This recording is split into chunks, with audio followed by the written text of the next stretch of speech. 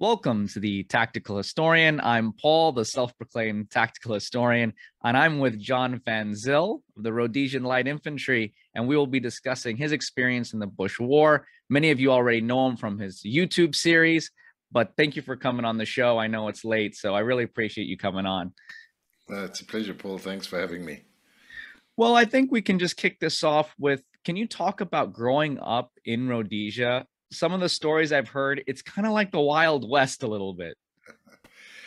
Um, you know, there was a, uh, a kind of a, a, frontier feeling to the country. Uh, it was a relatively young country, um, sort of from 1880. So, being born there in 1956, the country had only really made a transition from the Stone Age and darkest Africa, sort of, um, you know, 70 years, 70, 80 years prior to me being born. Um, and so, yeah, it, it, it, it, it, I feel quite privileged to have grown up in, in Africa at that time because uh, it was wild and rugged and, um, and beautiful. Um, with lots of wild animals and and and huge rivers and and rugged mountains and uh, lush jungles and thick forests and yeah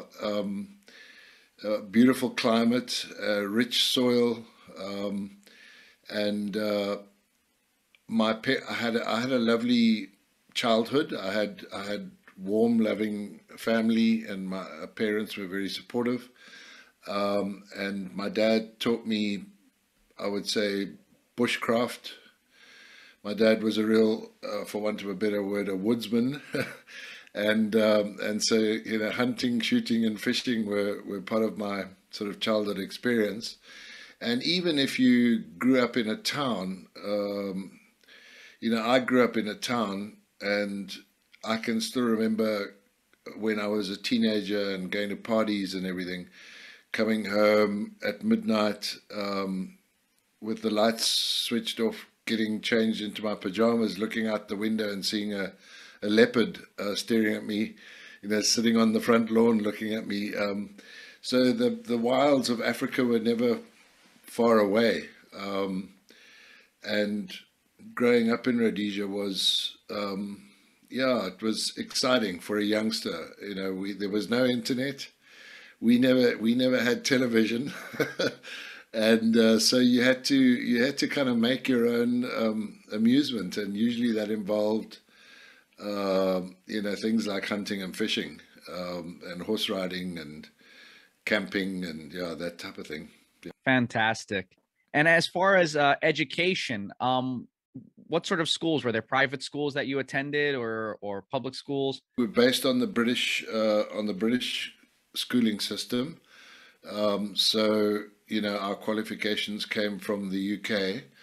Um, my dad started off as a tobacco farmer and later became uh, an Anglican priest. Um, so the Anglican Church had a had a couple of, of, of upmarket private schools. Um, so I started off going to to a multiracial um, private school called Peterhouse. Um, uh, and there are, there are, a few Anglican sort of church schools. Uh, in fact, my junior school was a was a Catholic, a private Catholic school where we had um, uh, Carmelite monks that taught us. Um, and then when I went to high school, it was an Anglican uh, sort of church school, so we used to have to go to church every day, chapel as they called it, and um, and then later I went to a government school. Uh, so generally speaking, all of the schools I went to were boarding schools. So I got used to the discipline of boarding school life. And in those days, uh, in British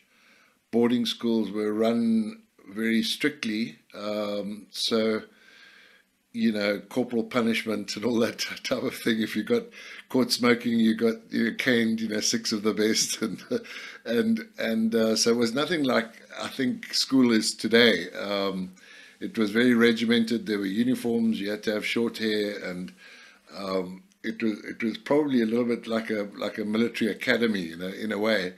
because it really, I think, prepared me for life in the army. Uh, so, you know, for for a lot of guys who've grown up as civilians, when they go to the army, it's a huge big culture shock to have you know sleep in dormitories and and public uh, showers and and all the discipline and the and that type of thing. But I, having gone to boarding school, I was used to all that, so it was no.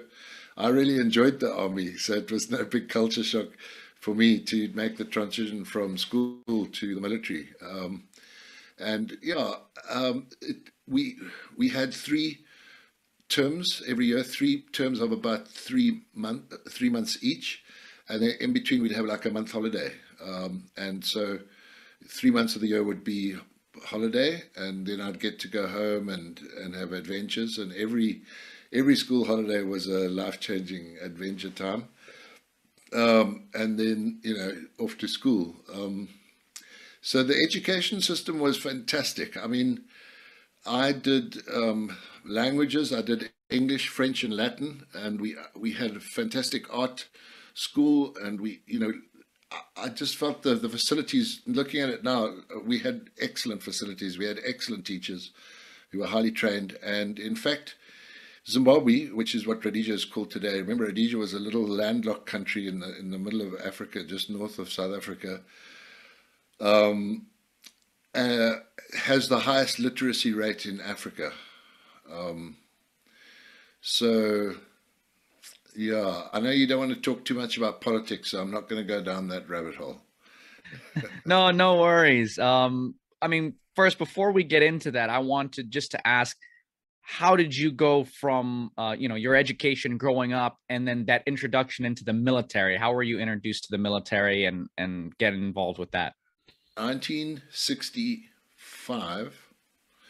Um, our uh, we we had an agreement with the UK whereby the UK was we prior to that we were a British colony and had been a successfully a self-managed British colony uh, since 1923, and we supported England in World War One and World War Two, and our government had an agreement.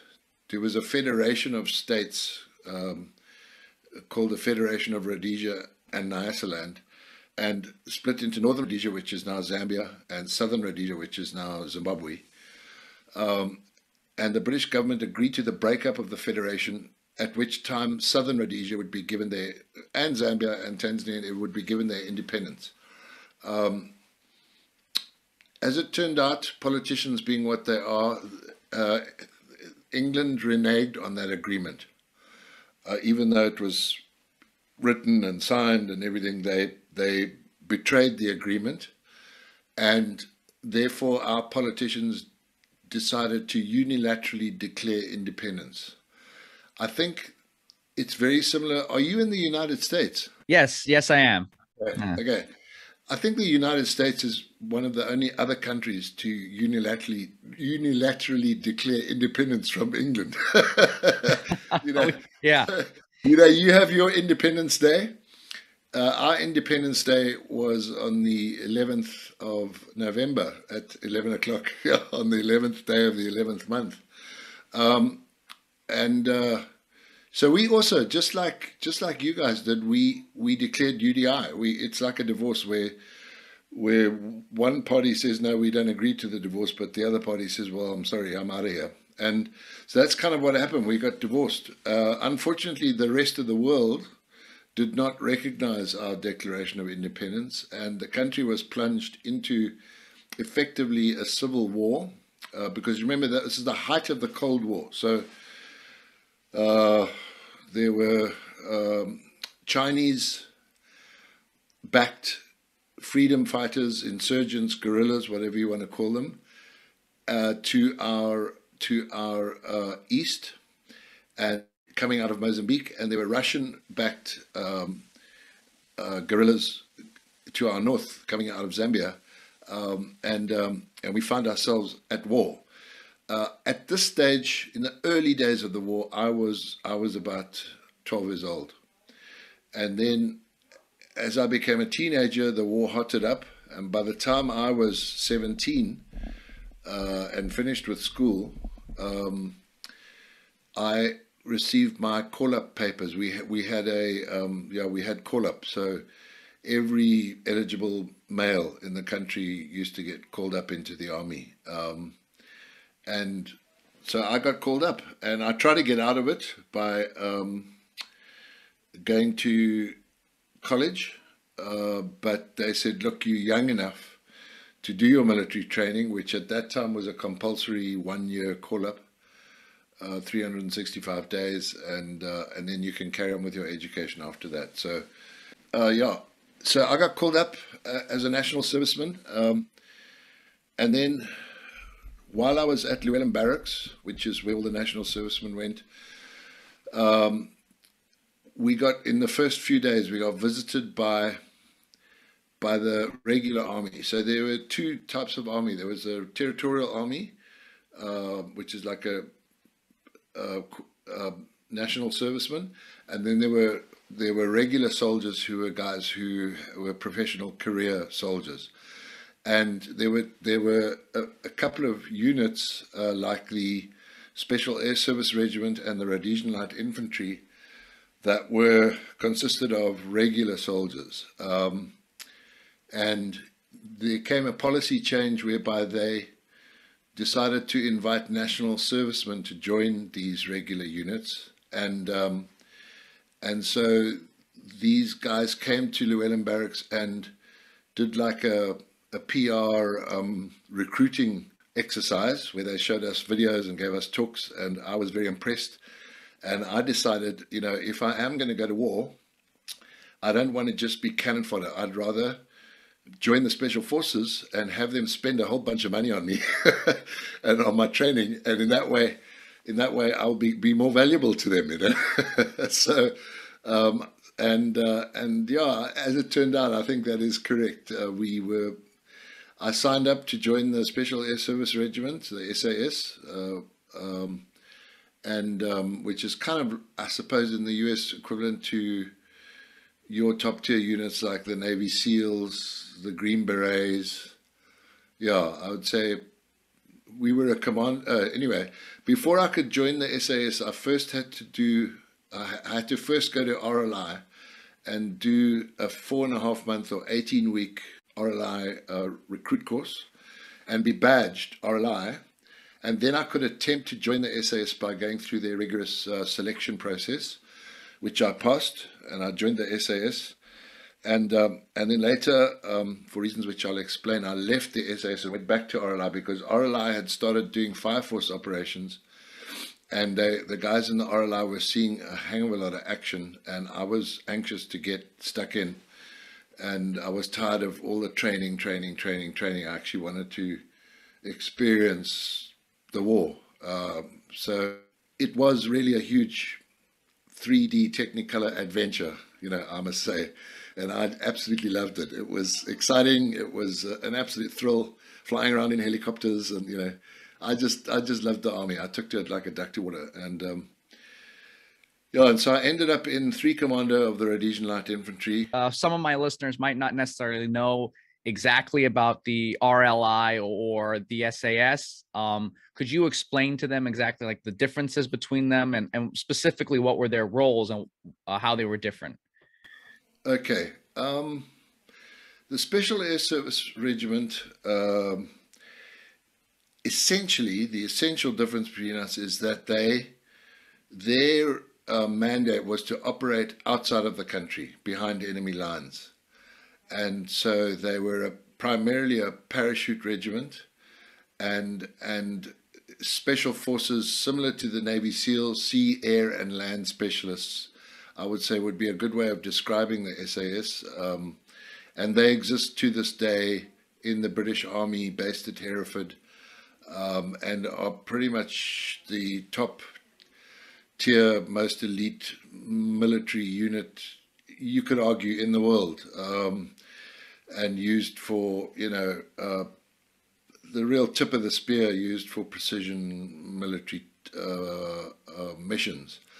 Um, the the idea of light infantry goes back to Europe in the 1700s.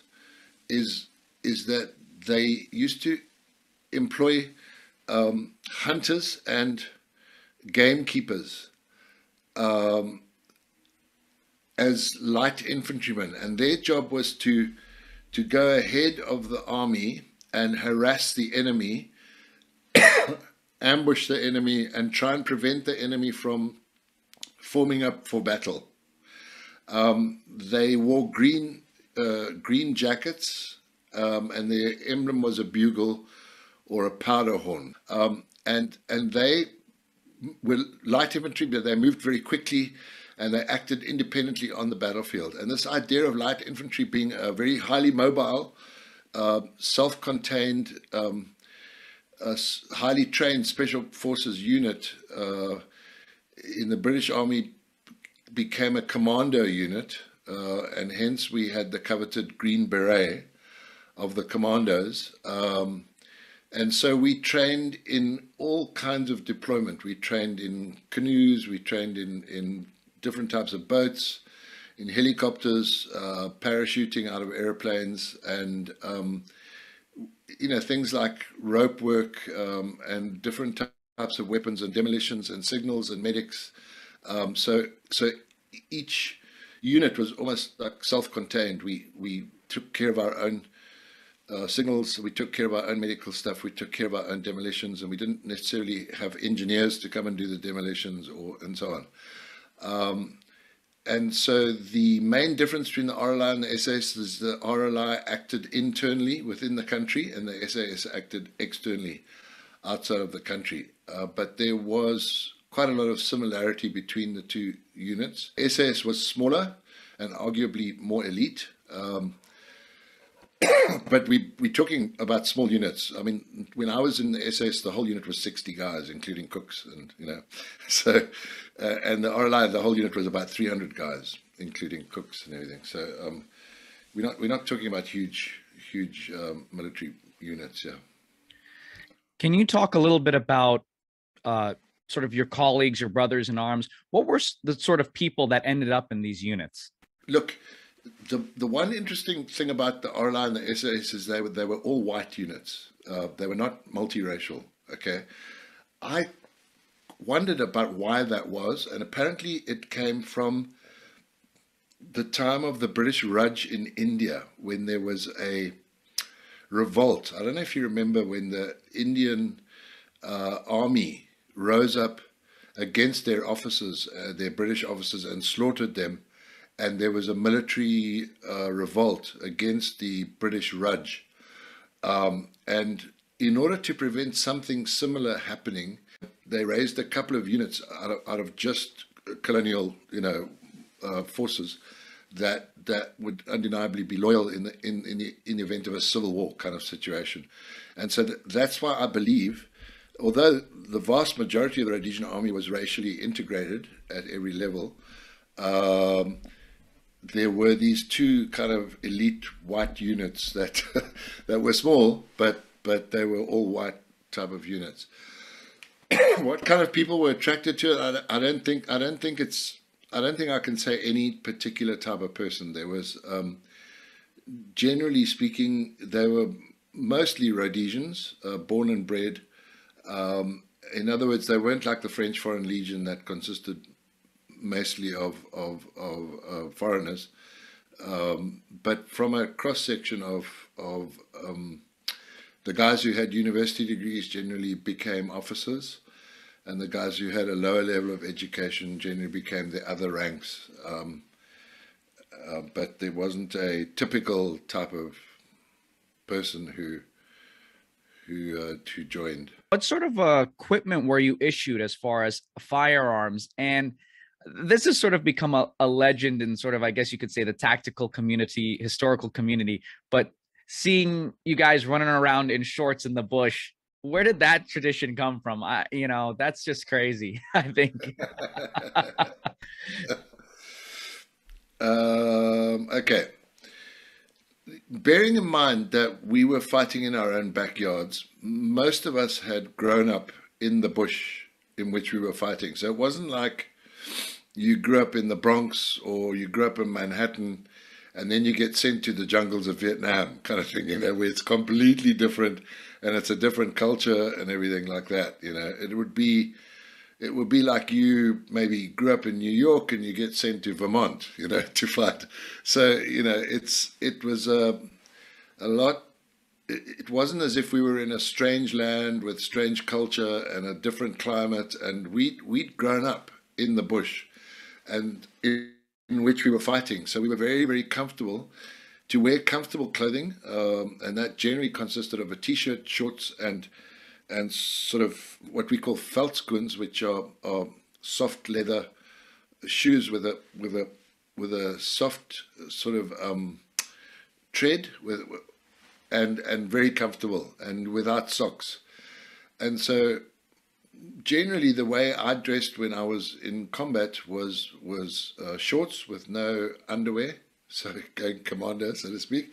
Uh, a t-shirt, and I found I, I used to I used to rip off the collar of the t-shirt and rip off the sleeves because the collar would attract dirt over a long period of time, and uh, and and my veldskoens with no socks. And you get used to walking through the bush in a way that you don't get scratched to pieces.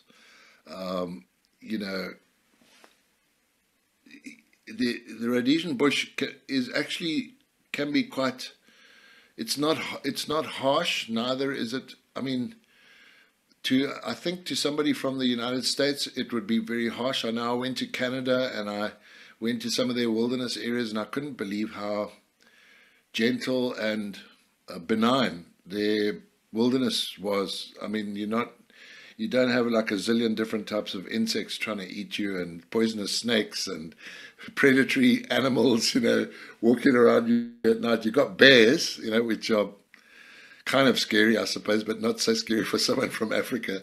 Um, and um, but yeah, we we had to we got used to living with the insects and everything, and um, and um, what we were issued with um, in the RLI was mainly um, 7.62 by 51 um, FAL, FN FAL um, with a 20 round magazine. Um, so we we worked in sticks or or or groups of four men because that's how many men passengers could go up in a little Alouette helicopter. Um, the one guy would be a stick leader and he would carry a little A63 radio um, and he would be a rifleman. And then uh, three of them were riflemen, and one of them was an MAG gunner. So he would have a, again, the same uh, bullets, um, which were a lot more powerful than the AK uh, bullet. So if you were hiding behind a tree or a wall, uh, you'd be safe from AK bullets, but you wouldn't be safe from a from a FN. FAL. Um, it would go right through the tree and right through the wall, you know. So uh, we liked to, we liked that superior firepower.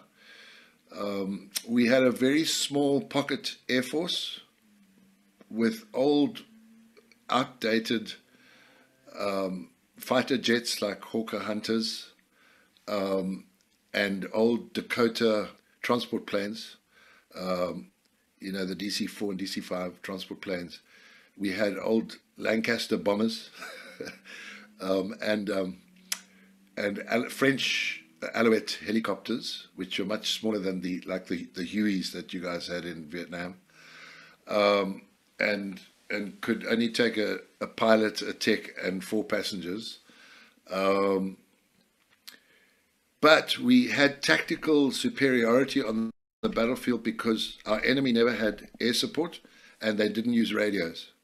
So the fact that we had radio communications and we had air support, even if it was small and minimal, um, so we didn't have like Cobra uh, helicopters or or or or, or A10, you know, gunships and that type of thing. We, you know, it was, but it was enough for us to have tactical superiority. Infantrymen, we carried um, fragmentation grenades, um, NATO type of um, M962 fragmentation grenades. Uh, we in those days it was it was kosher or legal to carry a white phosphorus, which I believe is no longer allowed.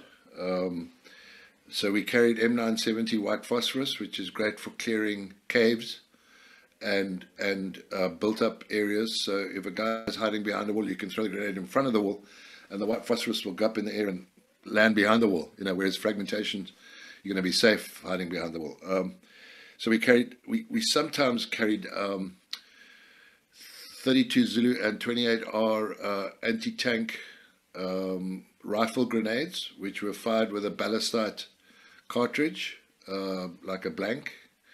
Um, but mostly in the RLI, we didn't really carry that stuff. It was too heavy and wasn't really that useful.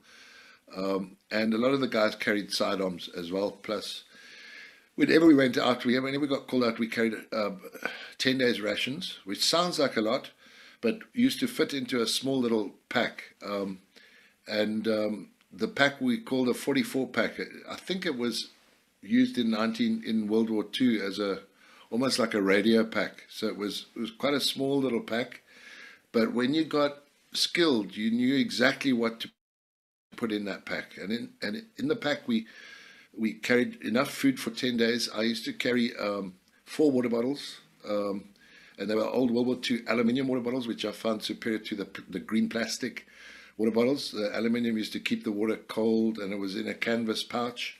And if you wet the canvas pouch, it used to stay cold, you know, for most of the day. Um, and um, and then we each carried a bag of Ringer's lactate uh, drip, uh, drip set. Um, and we each carried 10 mils of morphine around our dog tags um, in a little tube with a needle so we could inject ourselves if we got winded. And, and then the, the saline drip was for to prevent the guy from going to shock. Um, and otherwise, our medical kit was pretty primitive, uh, just field dressings and gauze bandages and that type of thing. We didn't have a lot of the modern mod cons that you guys have got for congealing blood and that type of thing. So we had pretty good medical training, how to deal with sucking chest wounds and how to intubate, um, how to do tracheotomies um, and um, intravenous drips and all of that. We didn't need a medic to do that stuff. We didn't have medics really. We had a troop medic. Uh, so what, every four sticks would have a troop medic, and he'd have a he'd have a bag, and in that bag he'd have things like amphetamines and you know all types of different uh, local anesthetic and you know sutures and so for stitching people up and that sort of thing. Um, but if somebody did get wounded, the emphasis was on on um, immediate medical care and then getting him uh, uh, as quickly as possible, getting him out of the area and off to a mobile surgical unit uh, and then off to a hospital. So that was really speed of casevac that was most important. Like I was gonna just ask you because you mentioned communications and how that really gave you uh, the step up on uh, the insurgents. I've always said this in my experience. I don't think I've ever done any sort of uh, military exercise yeah, where at the end of it, we didn't say, you know, we could have had better communication. I think communication is like such a key thing. Um, but out of curiosity, when you were dealing with the insurgents, I've heard a lot of stuff that they were being trained by Soviet and communist governments. Did you ever notice like, oh, wait, they're they're getting better because they were trained and you noticed that or did you not notice that at all and the training was garbage okay we were fighting two different armies and the one was chinese and the one was russian mm-hmm. and the russian soldiers and a lot of them were a lot of their officers particularly and their training staff actually went to russia and were trained in russia and a lot of them even spoke russian you know and, and they were and there were russian military advisors there with them on the ground. We found the Russian trained soldiers who were ZIPRA, the Zimbabwean People's Revolutionary Army, um, based in Zambia, were trained, were very well trained and well disciplined and did not shy away from contact with our military forces. And when we did contact them, they held their ground and fought hard and often dying dying at their guns. You know, they, they didn't run and bolt, and um, they were more conventional warfare army, and they built up a huge arsenal of of Russian tanks and and troop carriers, um, um, armored cars. Um, they had an array of anti-aircraft um, guns, 12.7s, um, you know, uh, SAM surface-to-air missiles, RPG sevens, that that type of thing. Um, so often when we fought against them, our guys would come under. We used to get a lot of flack, and uh, and uh, our little aircraft, you know, were were not built to withstand uh, some of the barrages that they received. They did very well. Going up against the Chinese troops, completely different. their level of training was minimal. They seemed more concerned with politicizing the um, the local populace, um, and so they had like political commissars who who were civilians but who seemed to carry more rank than the, than the military guys. You know, and they had their little red books, the thoughts of Mao Zedong, and um, and they would go in and and they would often commit terrible atrocities against the local population in order to intimidate them and terrorize them into cooperating.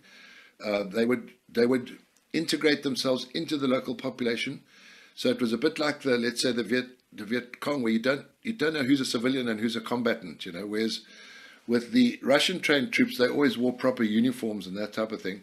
Whereas the Chinese trained troops, Mao Zedong's philosophy of them swimming like fishes in the sea, uh, you know, you never know is the guy a terrorist or is he or is he just a farmer? You know, you don't know until until you know night comes and he he puts on his or goes and fetches his AK-47 and you know and becomes a you know becomes a, a guerrilla. So that was the difficulty of the Zanla, Zimbabwean African Nationalist Liberation Army, was finding them because they dressed in civilian clothes, they acted like civilians, and you didn't know who the enemy was, and that's a psychologically difficult war for a soldier to fight when you don't know who the enemy is, um, and you've been brought up by a kind, loving family, and you you know you'd rather err on the side of caution than so it makes it difficult to you know you just don't want to go in and slaughter a whole village of innocent people because who's innocent and who's a combatant you don't know so that was the difficulty we found with uh, fighting the Chinese ones. And when we did um, engage them in combat, we found their um, levels of marksmanship and everything were terrible. So they always they, they used to close their eyes and pull the trigger, and they always fired high up.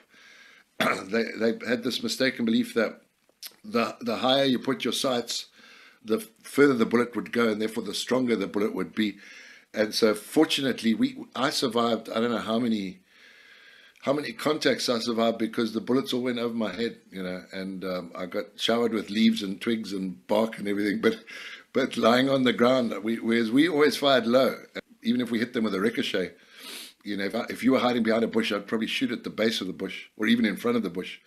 And you know I'd probably get you. Um, whereas if I was hiding behind a bush you'd be shooting over the bush you know. So I'm very grateful for that because that's probably why we we had such a good um, kill ratio, and and, and and I believe the RLI uh, we lost.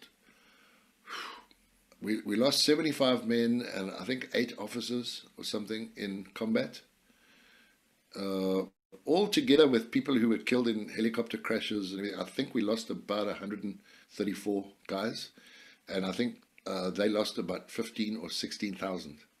So that was the the kind of ratio, you know, um, of uh, and uh, so yeah, so the two different armies had two very different philosophies, and uh, I must say we, hmm, I don't know who we preferred to fight because there was something satisfying about fighting Zipra because they acted like proper soldiers, whereas fighting Zanla it was difficult because you you couldn't find them. And uh, you asked me a question. Uh, one of the questions you asked me was different tactics like patrolling. I think you mentioned the word patrolling. If I may say, um, we found patrolling particularly unproductive exercise. Um, and mainly the reason for that is mainly because the the uh, guerrillas used youngsters uh, who were herding cattle or goats as their as their um, tripwire, as their um, you know as as their spies, if you like. So I suppose it would be like in Afghanistan if you're walking through a forest patrolling or down a river and a, and a young 12 year old boy sees you and he's got a bunch of goats you know that that information is going to get back to the Taliban in like double quick time. They're going to, the Taliban are going to be aware that the, the, guys are patrolling in that valley. You know what I'm saying? It's exactly the same in Rhodesia. These these little guys were called um, uh, mujibas. Um, I think in, in, in, in Ireland they call them dickers, you know, but they basically you know, they're basically the eyes and ears of the enemy. And uh, so these little mujibas, you don't want to shoot the guy because he's only eight years old. But meanwhile, he, he's going to, as soon as he sees you, he's going to run off and go tell the local guerrillas, okay, there's some army guys. They're walking down that road into in this direction, kind of thing. And so that's why patrolling just was unproductive um, and and futile what we found was much more, more productive was clandestine OPs, where, where you'd have guys hiding on top of mountains or high features, uh, trying to hide uh, in the thick, in, amongst the rocks and the bushes, with binoculars and a radio. And they would observe all the paths and all of the routes in the area. And if they then spied any enemy movement, they could then, or if they spied a woman carrying a whole lot of food into a ravine and then coming out of the ravine without any food and then you know that and that would happen two or three times a day then you know that there's people in that ravine you know.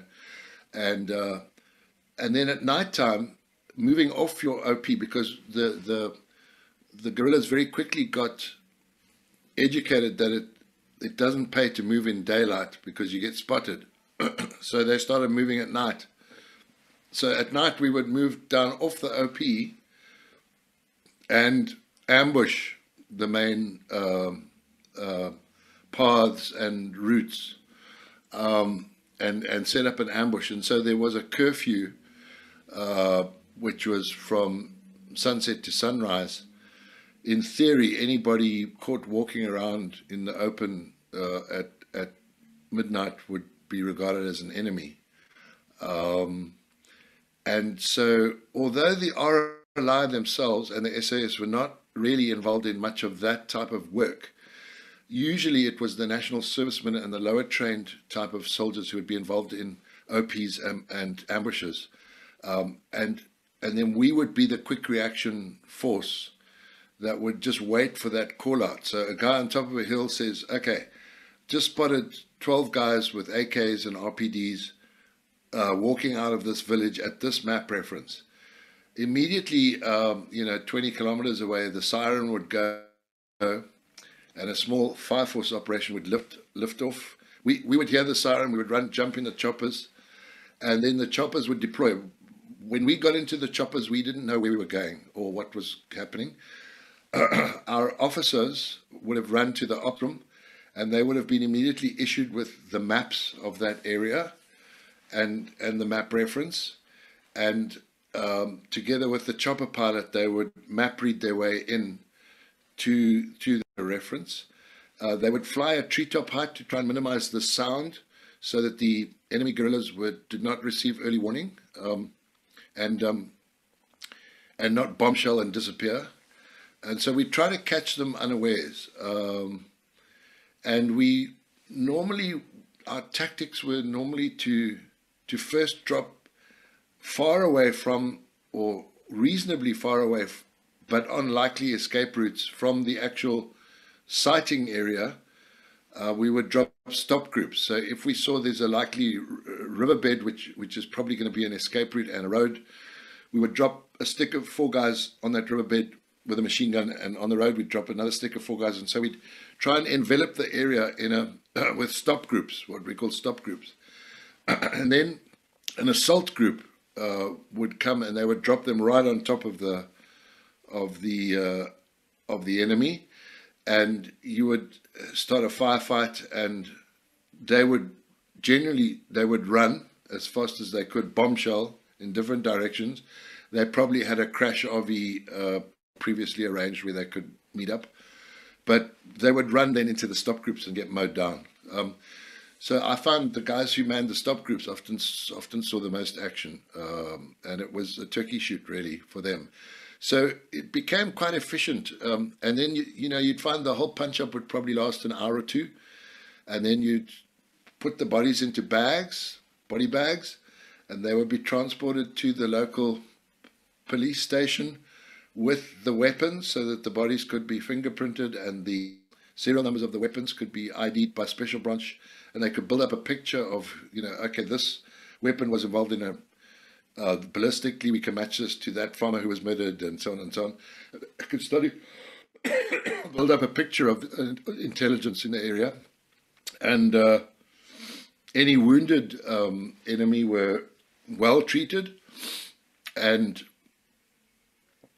were often only too willing to answer questions and cooperate and, and even switch sides. Uh, and hence the hence the start of the Selous Scouts, which became a unit consisting almost entirely of former combatants who had now decided to switch sides and uh, and and adopt a pseudo role. Uh, and that became our most uh, successful intelligence gathering thing was just by dressing up like them and pretending to be uh, freedom fighters and meeting up with other groups of freedom fighters. And when we did, they you know kill them.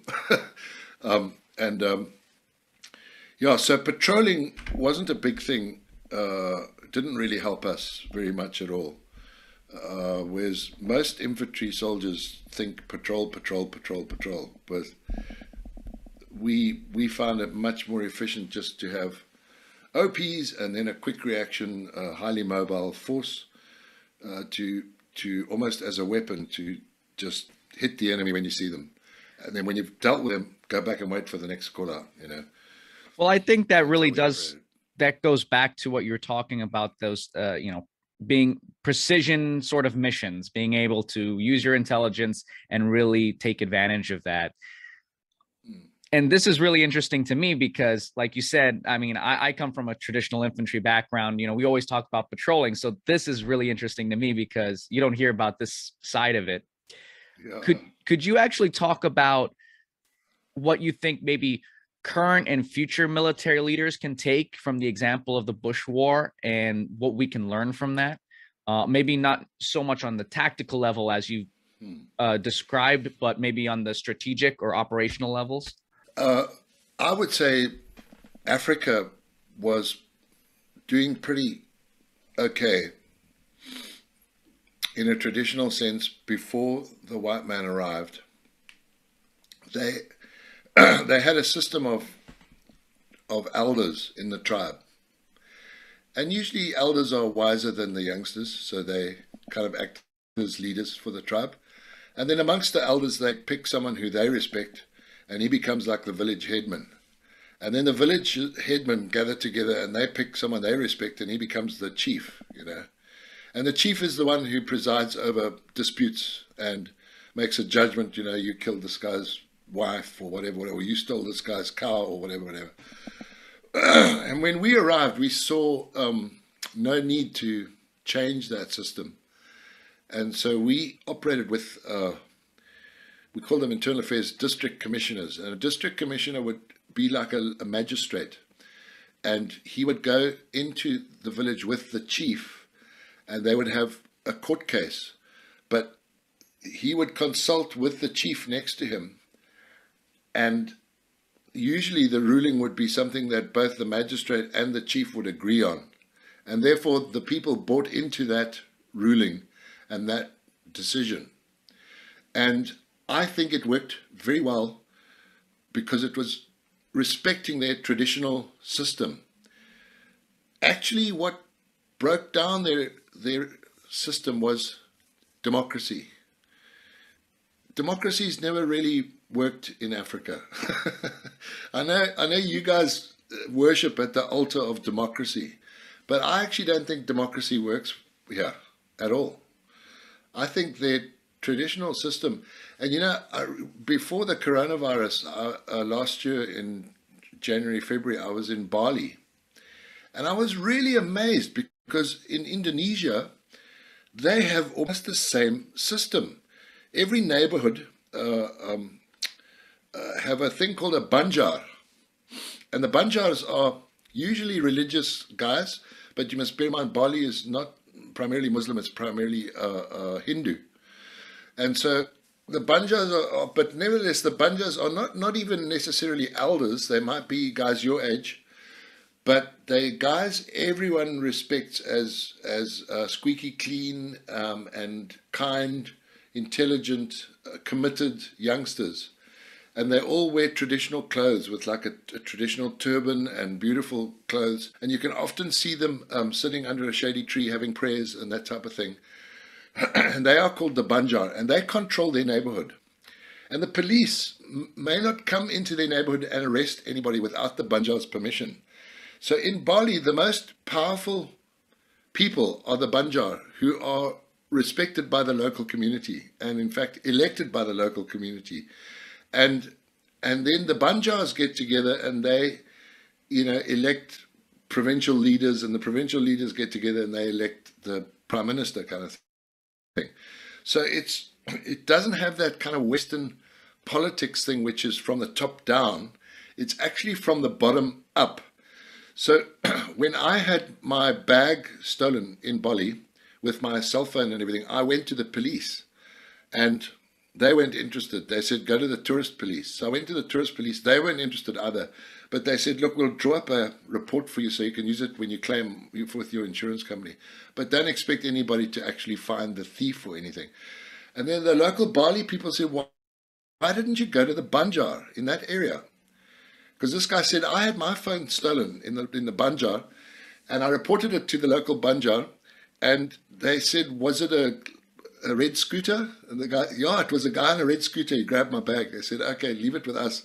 Honestly, wasn't an hour or two later he got a he got a call at his hotel. The the banjar said, come and collect your phone, you know, because they knew it was this this youngster, and and so this guy said, so did you catch the guy? And they said, yeah, don't you worry about that. We, it's our problem. We'll we'll sort him out. We know exactly who took your phone. Here's your phone. Let's just leave it at that, you know. But and they sorted out probably, you know I don't know, spoke to the youngsters' parents or what, you know, it was just a system that really worked and it was very similar to Zimbabwe. So if you ask me what mistakes we made and what mistakes any military makes when they go into a foreign country is you impose your value system, you impose your paradigm, your mindset on the local populace and you try and westernize them. So you go to Hawaii where all the women are walking around topless in grass skirts and you make them dress up like Victorian uh, missionaries, you know, and, and it's hot in Hawaii. It, Victorian clothing doesn't work so well, you know. I don't know. It just seems like we always mess up like that. We try and change them into how we are instead of respecting their local traditions and culture. And that's, yeah, that's my biggest advice is if you're a foreign army, they are going to resent you if you come and impose your culture on them. Doesn't matter who they're going to resent you if you come and impose your culture on them and and disrespect their culture. Uh, and it's the same in Asia as it is in Africa, etc. It's uh, and and in Middle East, it's the same. It's yeah, absolutely, absolutely. I think that's a really great point you've made. Multiple points you've made. Uh, I mean, you can just imagine the other way around, right? If someone were to come to the United States or go to Great Britain and try to impose their thought process on them, on you know Americans, on Brits, I'm sure it wouldn't go down the same way either. so it, it, really does. It's you know you have to learn from that. Think of it like that. That's that's fantastic. Um, just before I let you go here, I, I wanted to know, uh, in your experience uh, in the Bush War, when maybe you had some downtime or anything like that, did you have any uh, humorous incidents that you might remember or recall, just so we could end on a high note here? Uh, I have a couple of humorous stories at my own expense. Um, uh, I think every soldier's uh, nightmare is to have an accidental discharge uh, or a negligent discharge. I don't know what you call it in your army, but it's in our army. It was instantly punishable by 28 days in detention barracks, which is basically military jail, where where they they you you run around until you drop with exhaustion every day and you get all your hair shaved off and everything. anyway, being a machine gunner, I didn't want to carry my machine gun on guard duty, and I was working up in the middle of the night. And this guy offered to lend me his FAL, FN, and I went through the process of clearing the thing, but I must have got the order mixed up because instead of removing the magazine and working the thing, I think I worked the thing and then removed the magazine and then put the magazine back. Anyway, when I fired it, yes, I was pointing it up into the sky. it was this loud bang and this lone tracer bullet rose up into the sky. And I knew immediately I'd woken up the whole uh, army base, basically. I was right next to the Selous Scouts fort. And I thought very quickly, I, I knew instantly I, I was in deep trouble. And so I shouted at the top of my voice, Halt! Who goes there? You know? and I made out like I was shouting at some guy who was running away from me. Anyway, uh, my story was, um, you know, who was it who said, um, what a tangled web we weave when at first we practice to deceive, you know. But anyway, my story was that there was a some guy checking out our camp and I shouted at him to stop and or I asked him who he was and then he ran away and I fired a warning shot over his head. That was my story. So eight o'clock the next morning, I get marched into Major Doug Lambert's uh, office at in the in the ops room, and he uh, he looks at me and he says, "Savan, I believe you had a, an accidental discharge last night." So I said, "No, sir. There was this guy checking out our camp, and I told him my whole lie." And and he says, "Well, you know, we've got the Selous Scouts fort here, and these guys are some of the best trackers in the world." And they did a 360 last night and they found absolutely no tracks at all. And so there's this, this long silence, you know. And then he says, with a twinkle in his eye, he looked at me and said, Next time, be more careful, Van. Dismissed. and I, I walked out of there and I was like, sure, I got off so lightly, yeah. Oh, dear. Um, but accidental discharges is a, is, a, is a topic that, you know, around the campfire will bring lots of stories.